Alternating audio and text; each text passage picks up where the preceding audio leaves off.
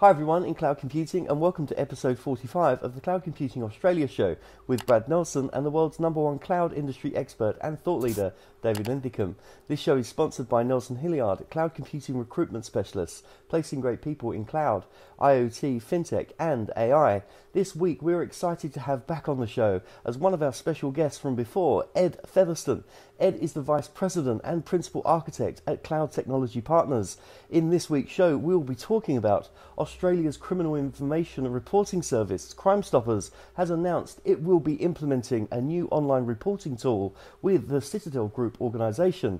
Citadel's Keep Us Safe application is hosted on Microsoft Azure, which received accreditation for its government configured clouds to be used for Australian government data classified up to protected level. Hi, Dave and Ed. It's a warm welcome to you both, and it's exciting to have you both back on the Australia show. And Ed, welcome back. It's great to have you on another show. Oh, thanks, Brad. It's great. It's great to be back. I always love chatting with you guys about technology. It's great to be back on the show, and it's great to have Ed on. Yeah, it truly is. So, look, a question for you, Dave, to open the show up would, would be uh, Will this certification mean more cloud usage in Australia public sector? Yeah, I think it will. I mean, how bad is client crime in Australia where you have to actually move the uh, application for Crime Stoppers to the cloud to allow it to scale? I mean, are you guys having some kind of a big uh, meltdown there where people out in the street with, uh, you know, guns and uh, knives? Um, so that was a little concerning there. But it, this is kind of a uh, instance of somebody who's getting wise with utilization of the cloud. And it looks like Azure, Microsoft went through a government um, certification process and they got, you know, quote unquote, government configured, which I guess is uh, the way the Australian government kind of rates cloud computing systems. We have similar things here like FedRAMP uh, within the uh, federal government. So I think once we see uh, little applications such as this, you know, on the cloud, not that this is a, a, little application unto itself, but it's certainly a smaller problem domain than larger government stuff.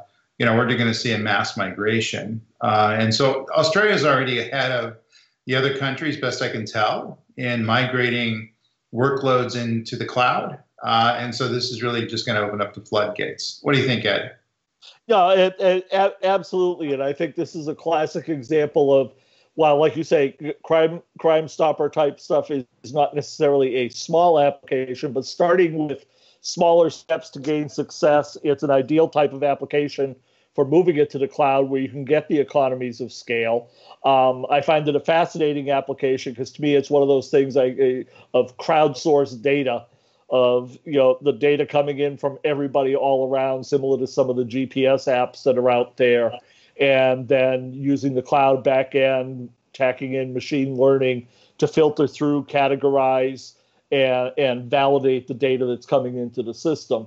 And these kind of stepping stones, which would have high visibility to the public, also helps uh, government groups wanting to move other things in because if they get the public on board that yeah this is a really good idea it becomes a better sell for them to try and move things into the cloud in the public sector so, what do you think about accreditation in general for the governments, not just the Australian governments, but the federal government in the U.S. and the uh, European governments that are governments that are doing cloud certification, and China that's doing cloud certification, and Japan and uh, Singapore, and I'm, I'm just running across lots of these right now where you know, kind of got into it a couple, three years ago, and now everybody's trying to get their stuff accredited. Is it uh, helpful? Is it something that's going to? I, I, I, I think it is because a, a lot of the governmental at all levels, whether it be down at the local all the way up to the the federal levels, there, there, there's always concern about information and systems being quote outside of their control,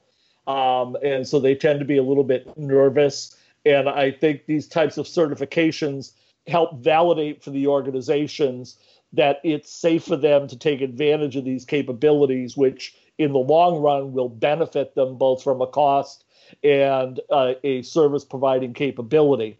Um, I mean, in the public sector, it, it's a different paradigm than the private sector. Private sector, it's all about being able to ultimately make money down the long run. In the public sector, it's about providing service, providing service to the people.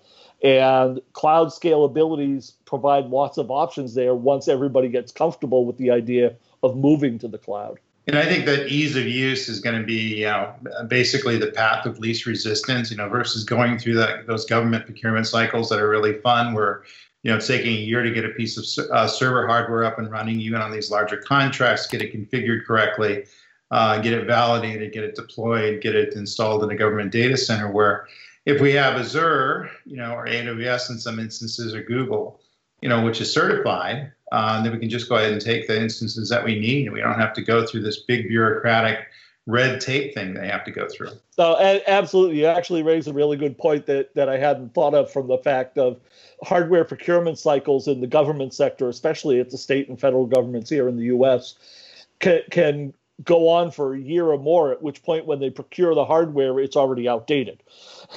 Um, whereas if they're moving to the cloud, you're already on the latest versions because the cloud vendors are the ones that are keeping things up to date, so you don't run into that issue. So I think that's another added benefit of the cloud for the public sector.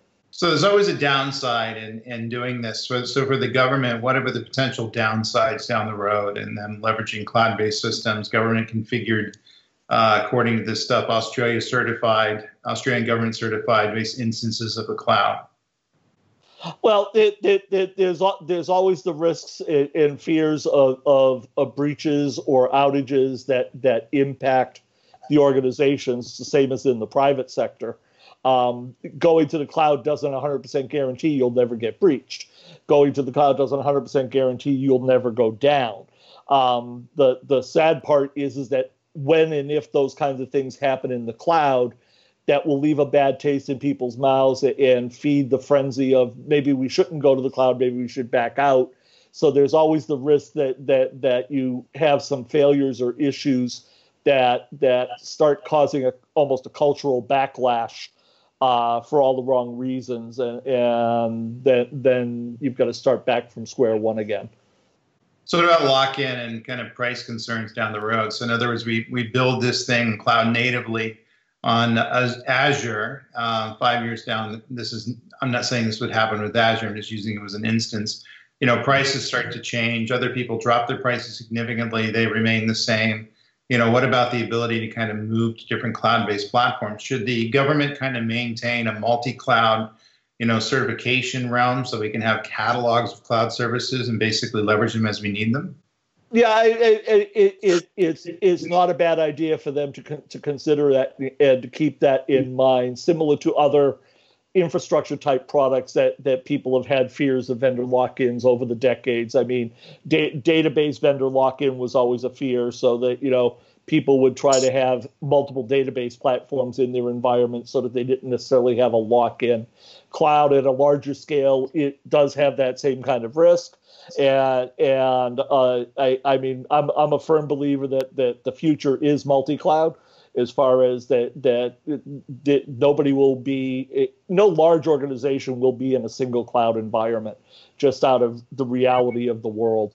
Um, but it, it's also a matter of if they're just setting their foot in the cloud from my perspective they should be trying one first just so that they can get used to what operating the cloud is like and then start branching out into a multi-cloud type of strategy going forward. Once they've got all of their processes in place they've got their people in place that understand how cloud works and goes forward. But in the long run any large organization and governments obviously fall under that. I fully expect will be multi-cloud environments. I don't picture them being on any one particular platform yeah one last question we'll kick it back to the uh, palmy um, so Uh, going forward, I guess they're leveraging a, ba- a, base level of security in the, into these things, and you know, as they're building this and basically become certified, should the concern be that that base level of security still needs to be customized, and, and that we're we're probably have a false sense of security? Um, that the certification will lead them down a secure path where they should have customization, different security platforms in there to consider. Uh, well, one of the things that, that, that I always say, and, I, and I've seen you uh, write about it at various points and everything, is going to the cloud doesn't mean you give up your responsibility for your security. Cloud provides you a very good environment for being able to build a very good secure platform. It also, because of the flexibility of it, if if you go and point a gun at your toe and pull the trigger, you could shoot your toe off very easily. Um, so maintaining vigilance over your environment, over your security infrastructure, just dropping into the cloud by itself doesn't 100% guarantee that your application uh, stack on up is going to be secure unless you take it on yourself in your security organization to make sure that happens. So that it, and that is one thing I see people sometimes fall into the trap of if I go to the cloud, I'm going to be guaranteed to be secure and it's it not it's not guaranteed. You still own the responsibility for your security. the The cloud provides you the capabilities of being secure, but you ultimately own the responsibility of making sure that your environment and your applications are secure. Well said. Hey, hey, I, I got a question for you, Brad. So, what's kind of the the scuttlebutt uh, in country about this cloud certification going forward? Is anybody paying attention to it? Is this kind of a big deal, or is this something that's just happening behind the scenes? I think it's a bit of both, actually, Dave. There's a lot going on behind the scenes when it comes to the public sector in Australia because, uh, you know, we're seeing obviously we spoke to National Australia Bank. Obviously, that's more private sector, but where they're doing a lot of in-house training. But the Australian government as well, in general, I think is putting about 6,000 6,000 or so public sector workers through an Azure uh, or Azure as your as your United States people call it Azure, I call it Azure. Uh, so there's a lot of training going on behind the scenes that already for existing staff. So I think it's a bit of both, but there's definitely um, uh, a real drive behind getting the certifications that are going to give people the opportunity in the public sector. So yeah, it's a bit of both really. Uh, but it's, it's, this this show's been quite interesting because I mean we started off talking about you know how this is uh, the, the, sort of Crime Stoppers is is is using now uh, an app, uh, the the vResponder application in the cloud on the on the, the Azure platform. But I'd be interested to find out from you guys actually how how would you see this working in the US? Uh, maybe that's a, a, question for Ed to come and jump in on. Would that would would the US use a similar sort of thing? Do you think this would work? And do you think they would use Azure or AWS or or Google, or a bit of both, maybe, or all of them?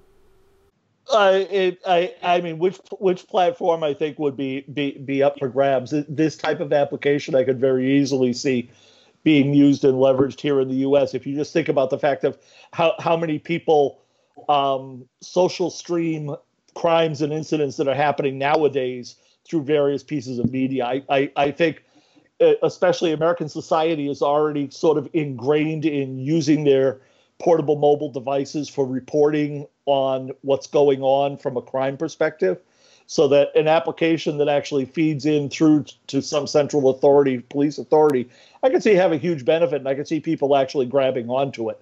Whose platform it ended up on god only knows. I mean because you know a- a- aws is literally the 800 pound gorilla in the world uh, on, on the cloud platforms but a- any one of the platforms could host something like that and be operational yeah, I, I, think I agree with that. The only thing I would add is they have a tendency, you know, these sort of applications here are normally state level or even town level. Uh, so they're all over the place in terms of how they do their cloud adoption. And so they're normally with the CIOs of the, the state and local governments that are kind of, you know, building this, which is kind of weird because you think it would have a, you know, a better um, jumping off point if this was done at a national or federal level. We're just not able to do that. We do have federal you know, crime information databases that the FBI supports that's shared, and some of those things are in the cloud. Um, but but again, I think it's catch as catch can and what clouds are providing. And and right now, uh, um, AWS and Azure are the 800 pound gorilla. Certainly, uh, Amazon's much bigger. Uh, but going forward, in terms of the ability to kind of capture the state and local governments and the government market in general, you know, it is kind of up for grabs. I mean, it's I think it's uh, you know, 5% of the government systems last time I looked are in the cloud, and that's including SaaS based systems. Well, that's not very much. And considering the hundreds of thousands of applications that they have in the federal government level, there's lots of running room and lots of, uh, I like Ed's term, up for grabs uh, in terms of the ability to get those applications on the cloud. Great. Thank you, guys. Great show. Great show. Thank you so much. Ed, thank you so much for being back on the show this week. It's awesome. Oh, thank you for inviting me. Like I said, I always love chatting with you and David about technology. Yeah, fantastic. And thanks, Dave. Thanks for being part of the uh, the Australia show. Always a pleasure and great having Ed and his commentary. It's always spot on. Yeah, absolutely.